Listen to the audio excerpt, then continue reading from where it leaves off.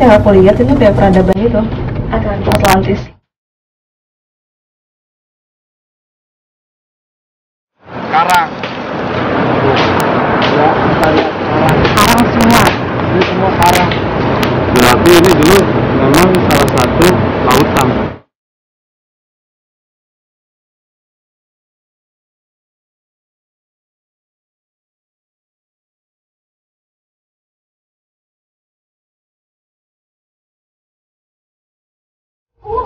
Tuh kan di dalam Iya, percaya lagi. Jadi kita mau ke area hutan ini, karena sampai sekarang belum balik lagi.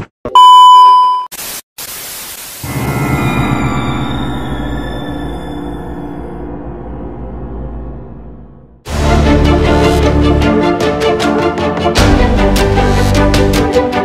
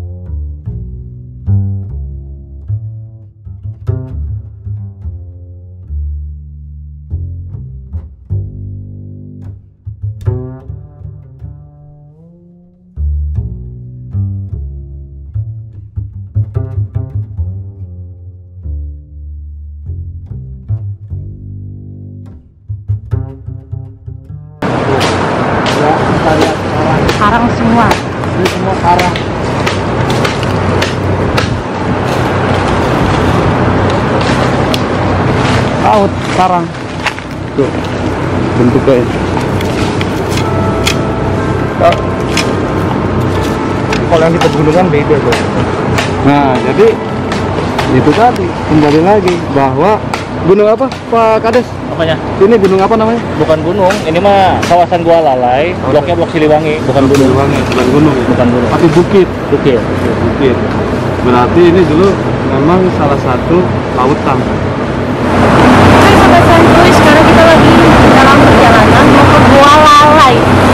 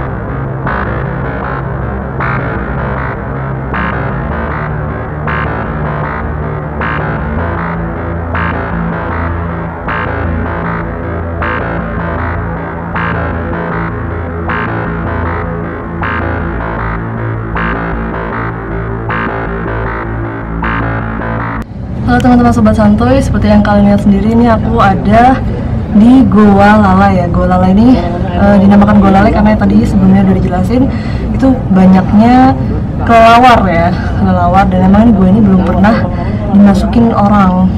Dan makanya itu kita pengen menelusuri sejarahnya. Dan seperti yang kalian lihat ya waktu masuk ke dalam sini tuh emang semakin turun yang namanya gua gitu. Makin turun tuh makin engap gitu kan. Dan ini nih. Entah kenapa. Iya. Entah ini nih. Takut-takut misalnya baru pertama kali ke gua nih. Ini nih entah kenapa ya aku ngeliatnya sempat lihat. kan tuh udah lama banget ini zaman ini ini. Ujung itu ada ada lautan. pintu. Bagus ya sekarang ya. Lautan terus ada kalau di tandanya ini di peradaban yang di- setelahnya mana tuh yang di sini aku lihat kayak ada corak harimau dua mungkin pin dua. Siliwangi atau Prabu Siliwangi pernah mungkin ke sini. Atau bisa dikatakan orang bilang tuh petilas, petilasan ya. Petilasan gitu. Dan ini kalau kalau kalian bisa lihat di mata batin ini ini sebetulnya kan ini gelap ya. Tapi kalau aku lihat di sini tuh bukan gelap malah kayak ruangan tempat megah gitu loh di situ. Di situ tuh. Dan memang banyak kelelawarnya gitu. Nah jadi di sini sempat ada sosok yang jaga gitu ya beliau ini kayak tinggi besar gitu sosoknya tapi pakaiannya tuh pakaian-pakaian kalau kalian tahu pakaian-pakaian yang di film-film Aquaman ya? Ya ya di film-film di Aquaman seperti itu.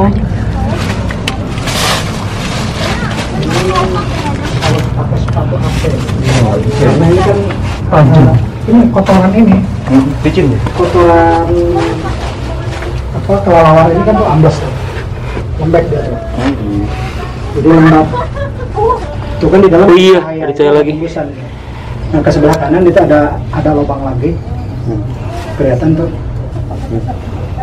ada tembusan tapi ini stalaktitnya udah mati airnya udah nggak berjalan lagi hmm.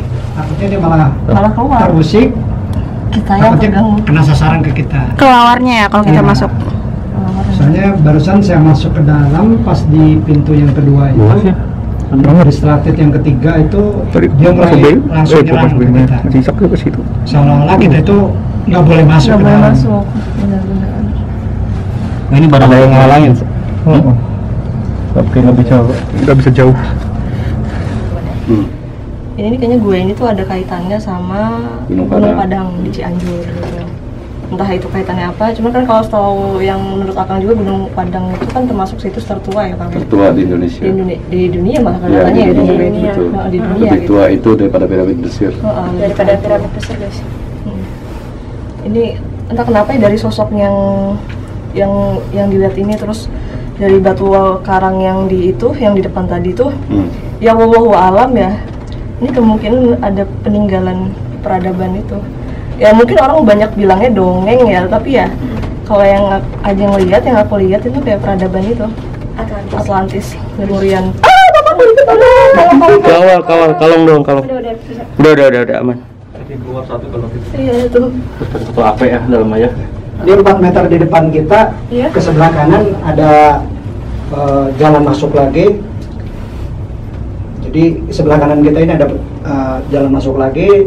Eh, di pintu gerbangnya persis ada eh, batu yang datar di bawahnya. Iya. Seperti dalam story. ya mungkin seperti batu-batu untuk petapa. Di sentra itu.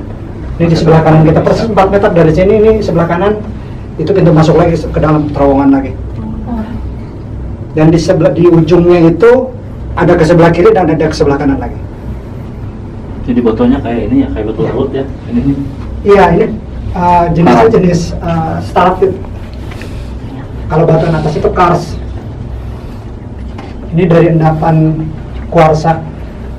Air, tadinya dari tetesan air ini mengeras mengeras mengeras mengeras sampai seperti ini. Ini ratusan tahun mungkin ribuan tahun nih. lensannya ganti. Di sebelah kanan itu kita masuk nih ke dalam. Jarak dari pintu ini ke sebelah kanan itu kurang lebih sekitar 2 meter ada pintu lagi satu ke kiri satu ke kanan. Dan itu sama seperti bentuknya kayak kubah gitu. Memang kayak ada reliefnya. dan uh, ininya juga sama tinggi seperti ini tidak sempit. Tidak seperti di gua-gua lain biasanya kita masuk Iya, sekali kita Ini harus ini ngap dan penuh dengan air. Kalau ini tidak.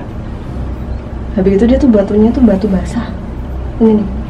Ya ini memang lembab. Lembab. Lembab ini luar biasa sekali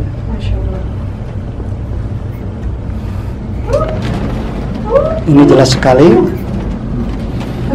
dan ini uh, kemungkinan dulunya pernah dihuni oleh uh, orang-orang prasejarah sebagai uh, tempat uh, hunian. Iya kan. Cuman untuk membuktikan itu kita butuh uh, penelitian yaitu eskavasi. Kita apakah menemukan sisa-sisa makanan, peralatan-peralatan mereka di masa lalu. Itu yang harus kita butuhkan untuk sebagai data ilmiahnya. Tapi kalau melihat seperti ini nih, jelas sekali ini dulu pernah dihuni. Ini selain penghunian manusia, dulu pernah landak. Jadi karena mungkin ini sudah tidak dihuni oleh orang-orang prasejarah lagi, karena ini kosong apa biasanya gua-gua seperti ini dimanfaatkan lalu dipakai eh, sebagai tempat tinggal oleh binatang, hewan yaitu terutama seperti landak dan kelelawar. Kemungkinan eh, seperti ular juga bisa. Karena tempat-tempat yang seperti ini mereka sangat sangat sekali. Oke. Ini apalagi jenis eh, jejak landak di sini banyak sekali itu. Itu bekas kaki landak.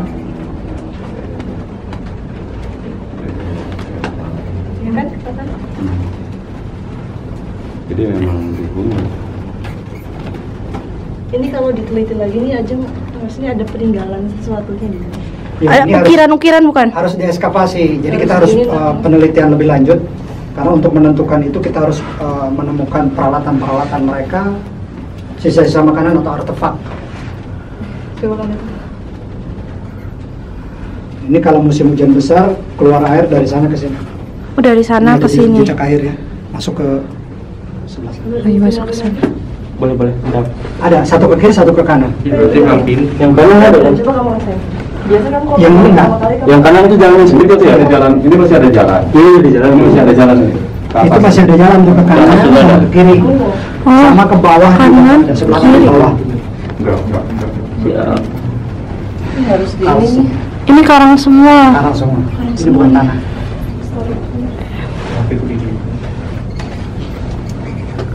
Cuman udah mulai dibentuk. Iya. Jadi dibentuk oleh air sini. Ini.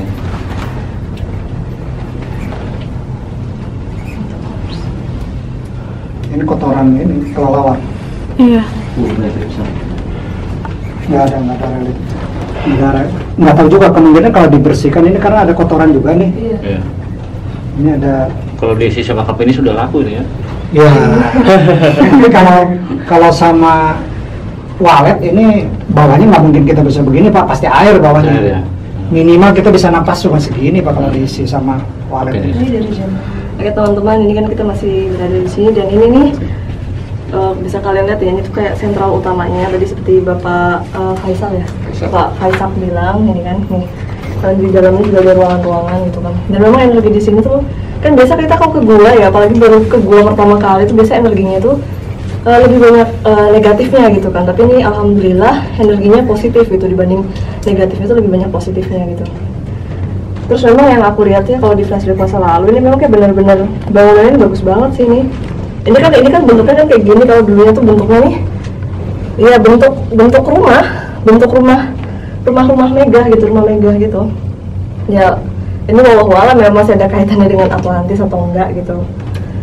Seperti itu sih. Ya memang dari tadi sosok yang aku lihat itu memang sosoknya lebih kayak yang kalau kalian tahu film-film Aquaman gitu ya seperti itu juga. Sosok yang tadi cowok di depan situ. Kalau yang lainnya aku masih belum lihat sih. Dan juga tadi masih ada kayak se- sekilas tuh kayak ada sosok eh, corak harimau gitu. Mungkin kakek Siliwangi juga pernah ke sini petilasan apa gimana? Tadi kan belum jelasin juga ya. Seperti itu aja sih kalau yang untuk saat ini aku lihat gitu kita masih belum berani untuk masuk ke dalam lagi ya. Nunggu kang Obaynya dulu nih gimana? Mau ditambah lagi gimana kan Boleh. apa alhamdulillah yang mungkin yang lebih ngerti akan masalah ini kan ya?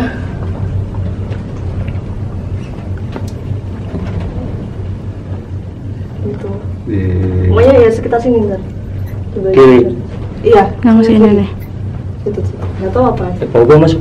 Coba ya langsung masuk beneran Biar diselidikin. Langsung, diselidikin langsung. langsung dia sendiri Karena ada getaran di situ. eh center center Iya, jadi harus kita selidikin langsung aja nih guys. Center bawah deh, bawah. Banyak kalongnya.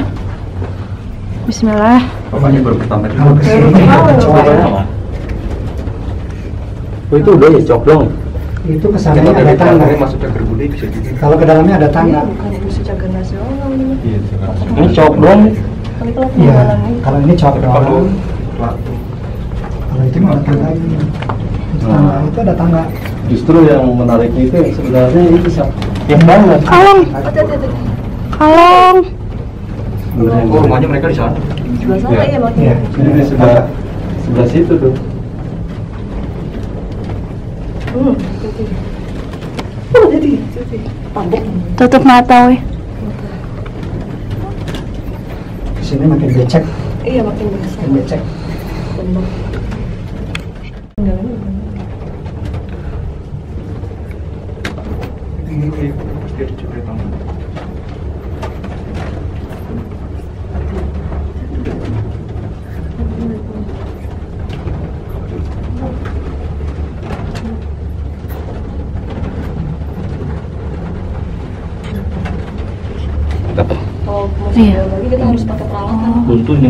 Oh ya, berarti kalau masuk ke dalam lagi harus peralatan ya? Iya. Eh. Karena dia yang di ujung sana itu sempit, dia jalannya mulai sempit. Tempat makan. Ya. Harus pakai mata jalan. Iya, lah. Ditandai. Tapi di sini sih nggak terlalu nggak seperti kayak di yang Gunung Ciampe, ya Gunung Ciampe ngap sekali. Lebih parah ya? Lebih enggak, karena di bawahnya ada air. Oh, iya tadi kalau sini enggak enggak tapi enggak enggak terlalu. Kalau di sini kita masih biasa lah, Iya, masih biasa. normal. Apa tadi?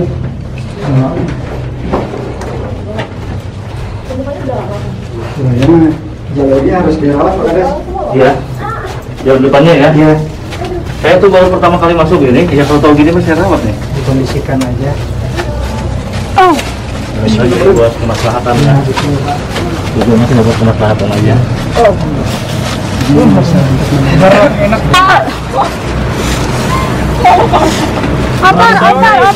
Lebih enak di luar.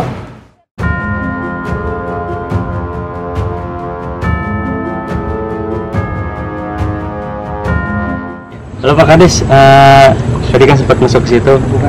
Kemungkinan pertama kali nemuin itu siapa Pak? Yang nemuin gua itu? Ya, kaitan dengan masalah goa yang ada di desa saya, ini tempatnya namanya ada namanya goa goa lalai ya. Iya. Namanya goa lalai karena di sana itu banyak kelelawar. Banyak Ya, banget. ya, akhirnya uh, dinamakan lah uh, goa lalai. Jadi uh, se- sepengetahuan saya dari kecil emang goa lalai ini udah ada. Udah ada, cuma uh, warga masyarakat emang uh, belum ada yang berani untuk masuk ya, karena itu syarat dengan mitosnya juga. Dan sampai dengan hari ini dengan uh, teman-teman sana, saya baru pertama kali masuk di dalam. gitu. Ternyata di dalamnya indah juga. Bagus ya ya? Cuma uh, letak lokasi tersebut ini namanya di Blok Siliwangi. Ini uh, blok sini namanya ini kampung Blok Siliwangi. Jadi dinamain bloknya. Adapun untuk uh, lokasi kampungnya ini namanya Kampung Bawah Kandir. Untuk mitosnya sendiri itu apa Pak?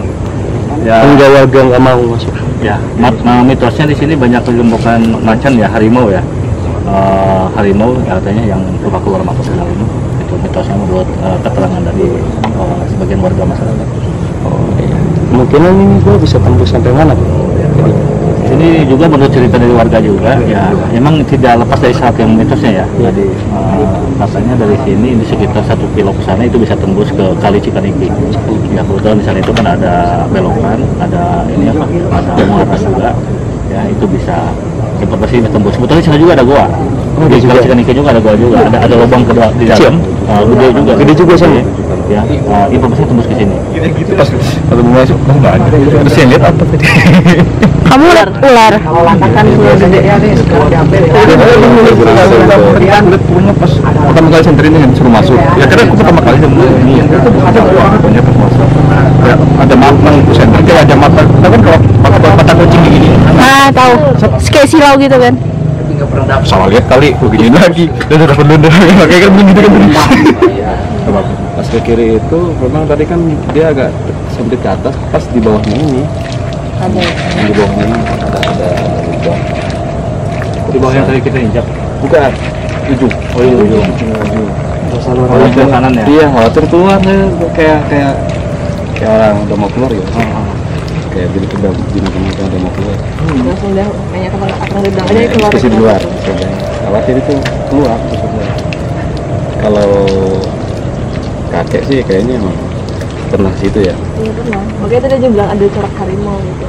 Itu ada beberapa periode gitu. Jadi dari zaman yang zaman batu, kalau abis itu zaman pajajaran iya. Terus kolonial Belanda. Vertikal terus yang karena memang ini men unik nih uniknya adalah ini karts ya kan ini batu karang pertama kali ya ini karts ini batu karang dan di ya saya bilang tadi itu disinyalir adalah laut. Laut cuman ya itu tadi saya eh, Ijah lain? menilainya Eh, sok WhatsApp WhatsApp ke orang. apa gua ini Oh, itu apa lu mana orang ijah ke orang? Dulunya itu kayak semacam di bawah laut Iya. ya, di bawah laut Terus emang juga itu ada kaitannya juga yang tadi Ajeng lihat itu ini eh, gua ini kan kayaknya ada kaitannya sama Gunung Padang yang di Cianjur itu. Kan memang Gunung Padang. kan situs megalitik yang prasejarah. Jadi eh, di sini ya menurut mitos warga masyarakat di sini ya, di sana kan ada ini ada muara air. Di sini air. Gua ini tembusnya ke sana. Ke kali Cikaniki. Namanya lebih koret namanya. Nah, itu. Soalnya ada mata airnya juga. itu yang saya bilang tadi itu jalan jalan ular itu. Jalan ular. Ini itu jalannya ular Nah, terus eh, warga masyarakat juga sekitar di sini kan ada dua RT ya ke sana, yang jalur ini ke sana. Itu ada beberapa orang yang bikin sumur, galian sumur. Ternyata ngejeblos ke, ke, ini ke lubang. Tapi katanya dalamnya licin katanya bagus. muter berarti ya Ya, di sini. nah itu berarti jalan yang tadi yang saya bilang ada lubangnya iya itu tadi sih sebenarnya penasaran sama atasnya saya juga sebenarnya. Yang lurus tadi. Yang tadi kan kan belok kiri, tadi lurus ya bang. Tapi penasaran dengan atas di atas di atas gua nih. Neng, mana sih? Oh, itu tembusannya. Misalnya, berarti harus jauh lebih dalam lagi maksudnya. Eh, sekarang kita akan mulai dengan bapak siapa pak? Siapa namanya Pak? Bapak Doni. Eh, sebelumnya bapak udah lama di sini pak? Udah 7 tahun. 7 tahun. Warga sini ya asli ya? Asli. Itu bapak eh, nemu goa itu tuh emang udah sebelum bapak tinggal di sini tuh emang udah ada apa gimana? Udah ada. Udah ada. Mukanya lebih gede. Bapak sendiri eh, pernah masuk ke situ apa belum? Cuman dia Oh, belum harusnya ikut ya. belum pernah. Kalau yang menurut eh, masyarakat ini kata-katanya kan mitosnya gitu. Di situ tuh ada apa sih bapak sampai ada larangan mungkin dilarang masuk atau gimana gitu? Ah, dulu sih katanya kata orang Kalau ada sudah ada orang orang lain. Ya, bapak makan Iya, barang. ini ambur balik lagi. Bapak eh, Sampai sekarang belum belum balik lagi. maksudnya gimana? Jadi katanya masuk ke area hutan ini, Iya. sampai sekarang belum balik lagi. Oh ada hutan ini. Nah, sini Oh ini dulu hutan. Masih ya? ada keturunannya juga. Masih ada. Ini hutan dulu ya. Sampai sekarang belum balik lagi. Belum mau balik lagi. Tuh tadi bapak yang Abu Huraisah ya? Iya. Itu nama orangnya? Orangnya namanya Amorisa. Oh Amuraisa. Dia dulu pernah masuk. Kata, itu dia tuh maksudnya katanya dulu eh, turunannya Siliwangi ya itu gimana maksudnya? Nggak tahu saya turun yang asli Wang atau bukan, tapi yang aslinya orang Liut Orang Liut. masih ada keturunannya. Hmm. Beneran belum balik ke Mesir? Belum sampai sekarang. Kata keturunannya juga. Iya, kan masih ada keturunan. Turunan turunan Siliwangi. Liut. liut liut. Itu tuh Orang Liut, kampung Liut, kampung Liut. kampung Liut. Cuman emang sih bapak tadi waktu ke apa namanya ke gua la apa la Lalai. gua lalai ya waktu gua lalai itu emang eh, kalau emang dari luar itu serem ya bapak ya. Cuman tadi juga waktu masuk tuh sempat was was gitu kan. Cuman eh, emang kan al- alhamdulillah kan aja kan kebetulan kan eh, dikasih kelebihan bapak bisa melihat sesuatu hal yang seperti itu juga gitu kan. Jadi yang Ajeng lihat di situ emang Ajeng lihat ada sosok penjaga gitu penjaga gua itu kan. Di depan waktu pertama, pertama kali masuk terus tadi Ajeng sempat titip apa salam dulu kan mau masuk. Yang penting kita intinya kalau mau masuk rumah orang ketok pintu dulu ya bapak salam dulu gitu kan salam masuk. Terus waktu masuk. Ke dalam yang tadinya ketakutannya itu hilang gitu loh maksudnya kayak cantik banget gitu di dalam itu kayak bener-bener pokoknya cantik deh bapak. Cuman emang kan namanya gue ya pasti gelap dan banyak kelelawar ya kan karena jarang ditempatin kan nggak pernah ditempatin juga. Kayak gitu. cuman kalau energi negatifnya sih aja lihat emang ada pasti ada lah bapak tempat-tempat seperti itu. Cuman dia lebih banyak energi positifnya gitu dibandingin energi negatifnya. Terus emang mungkin aja lihat juga bapak ya di situ itu eh, mungkin ada orang ya yang niatnya tuh datangnya mungkin kur- dengan niat kurang baik gitu. Misalnya dia pengen cari nomor kan bisa jadi kan ya bapak ya atau mungkin apa gitu kan kita nggak tahu yang niat orang itu gimana. Jadi ya mungkin ya ya mungkin seperti itu gitu. Mungkin kalau niatnya kita eh, ziarah baik terus kan di sini kan emang Ajeng dan tim kan emang dari tim cagar budaya dinas ini kan juga pengen melihat lah melihat kan bapak ini saya ini eh, apakah ini peninggalan yang bisa dilestarikan atau gimana gitu dan alhamdulillah eh, nggak kenapa-napa. Seperti itu. Mungkin bapak kapan-kapan mungkin bisa masuk ke situ. Tapi jangan sendirian, iya Pak. bener. Tapi jangan sendirian bapak. Nggak bisa balik dan jalannya banyak dalam tapi dia nggak nggak sampai masuk ke dalam banyak kok nggak cuma sampai beberapa doang kan karena emang kan kalau masuk ke dalam tuh katanya harus pakai eh, apa pakai alat pertambangan gitu bapak jadi biar biar bisa balik kalau nggak masuk ke dalam Biar safety. bisa biar safety juga gitu sebenarnya Terima kasih. Pak. Terima kasih, Pak, ya. Kalau kita masuk ke Ya teman-teman. atau memang dia seorang panglima atau seorang ulama wali